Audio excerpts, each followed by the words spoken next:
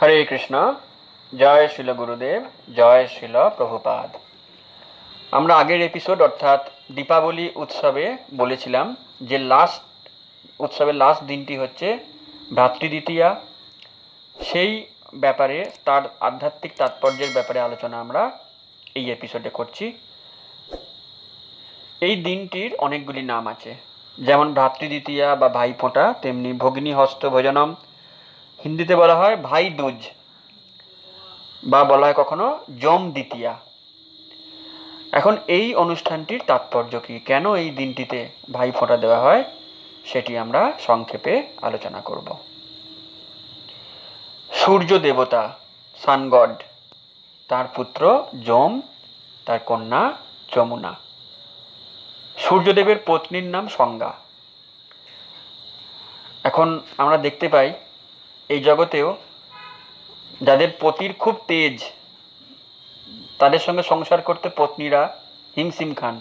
তেজস্বী পতি হলে তাকে সামলাতে কষ্ট হয় তাই তো? বা খুব রাগী স্বামী হলে। এখন সূর্যদেবের মতন তেজ যার তাহলে তাকে তার সাথে সংসার করা হ্যাঁ, এটি খুবই কঠিন। এই তেজকে সহ্য করতে হবে তো? তা তার এই তেজ সহ্য করতে না পেরে সংজ্ঞা তার ছায়াকে ওখানে রেখে অন্যত্র গমন করেন। সূর্যলোকে কে পড়ে রইলেন? ছায়া।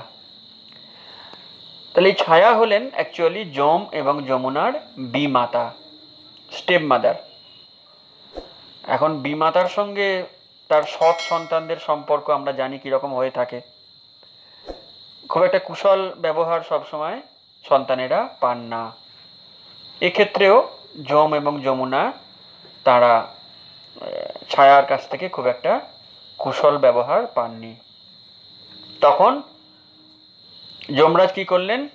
যমরাজ আলাদা একটি জমালোক তৈরি করলেন, বা জমালয়।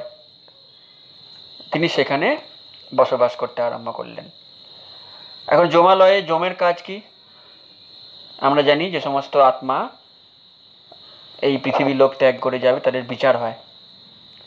আর যারা পাপী আত্মা, তাদেরকে যম দণ্ড দেন, শাস্তি দেন এবং নরকে প্রেরণ করেন।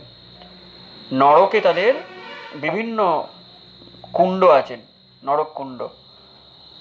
সেখানে বিভিন্ন নারকীয় শাস্তির ব্যবস্থা করা হয়। এখন যমরাজ তো নিরুপায়, অপরাধীকে শাস্তি তাকে দিতেই হবে, তিনি বিচারকের আসনে।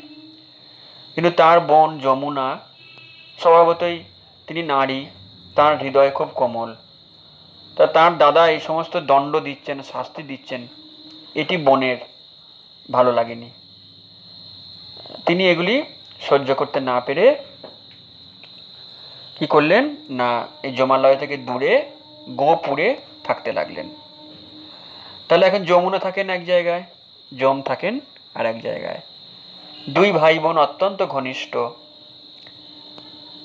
যমুনা মাঝে মাঝেই যমের কাছে সংবাদ পাঠান তার বাড়িতে আসার জন্য। কিন্তু যমরাজের ছুটি কম। এত তার বিচার করতে হয় হ্যাঁ যে তার একদিনও অবসর নেই। সব সময় তো একটার পর একটা কেস আসছে, তাদের বিচার করতে হচ্ছে। যদিও বোন অনেকবার করে বলেন, কিন্তু দাদা যাওয়ার সময় করে উঠতে পারেন না।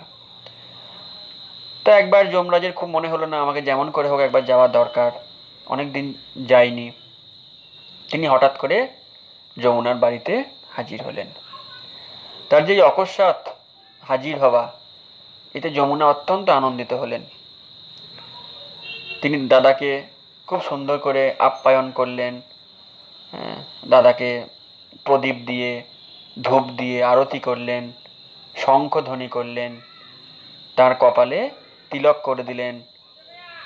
বিভিন্ন দুর্বা ঘাস ইত্যাদি বিভিন্ন মঙ্গলময় দ্রব্য দিয়ে তাকে ভূষিত করলেন। আর কি করলেন? দারুণ দারুণ সমস্ত পদ রান্না করলেন।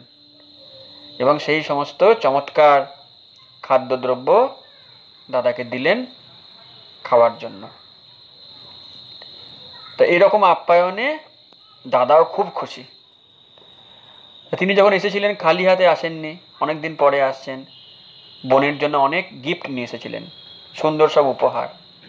সেই সমস্ত উপহার তিনি যমুনাকে দিলেন। এবং বললেন, তোমার কি আর কিছু চাওয়ার আছে? তাহলে বলতে পারো।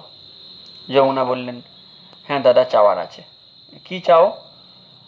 তো যমুনা বললেন, আমি দেখেছি জমালো, জমালোকে তুমি বিভিন্ন আত্মাদের জম যাতনা দাও, দণ্ড দাও।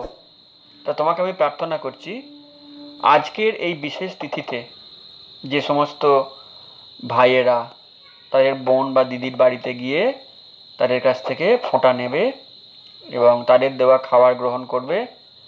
সেই বোধ পাটি ভাই এবং বোন, কাউকেই যেন জমালয়ে গিয়ে জমদণ্ড পেতে না হয়। তুমি এই আশীর্বাদটি দাও।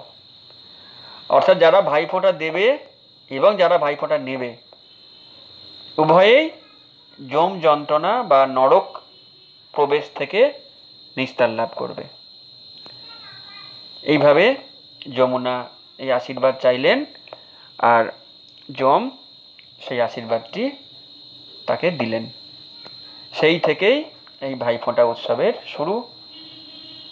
আবার যমরাজকে, যমরাজ অ্যাকচুয়ালি হচ্ছেন দ্বাদশ মহাজনের একজন। তিনি কৃষ্ণের পরম ভক্ত। তাই ভাইফোঁটার দিনেও যেমন আমরা যমুনাকে স্মরণ করি হ্যাঁ? যমকে স্মরণ করি তার সঙ্গে কৃষ্ণকে স্মরণ করা উচিত। যমুনাও কৃষ্ণের খুব প্রিয় আর যমও কৃষ্ণের খুব প্রিয়। তাই সেই দিনকে ভাইকে কি দেওয়া উচিত? কৃষ্ণ প্রসাদ অফার করা উচিত।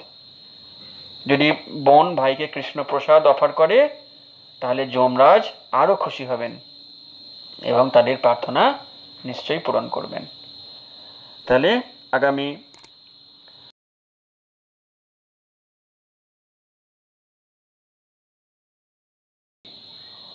ভ্রাতৃদ্বিতীয়া আসছে। তার জন্য সকলকে আগাম শুভেচ্ছা।